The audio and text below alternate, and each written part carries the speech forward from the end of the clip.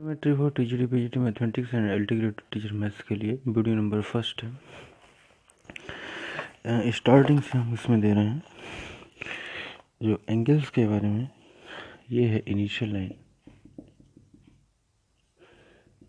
initial line और ये है टर्मिनल लाइन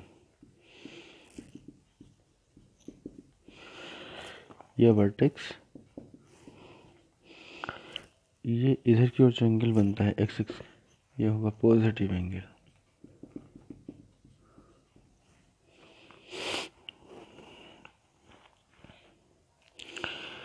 एंगल पे डिपेंड करता है कि एंगल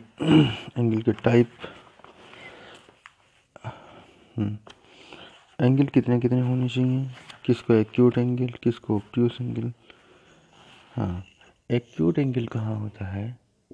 एन एक्यूट एंगल जब थीटा लाई करता है नाइन्टी, ज़ीरो के बराबर हो या नाइन्टी से छोटा हो, वो होगा एक्यूट एंगल दूसरा होता है ओप्टियोस ओप्टियोस एंगल जिसमें theta lie between ninety and one eighty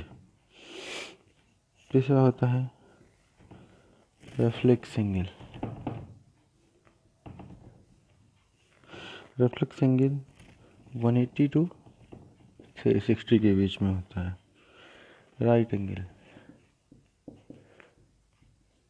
theta equal to ninety and straight angle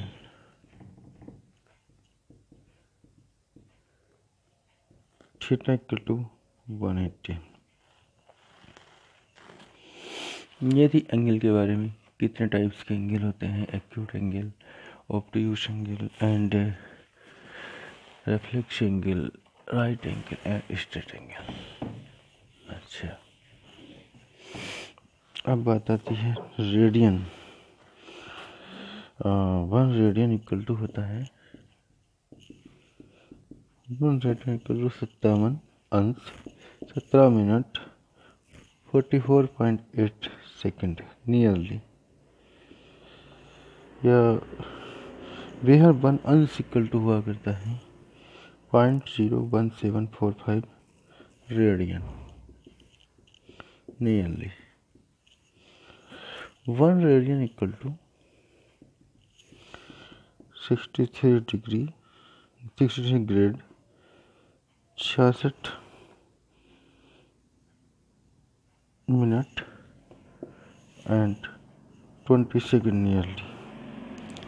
one gradient equal to होता है zero point zero one five seven radian nearly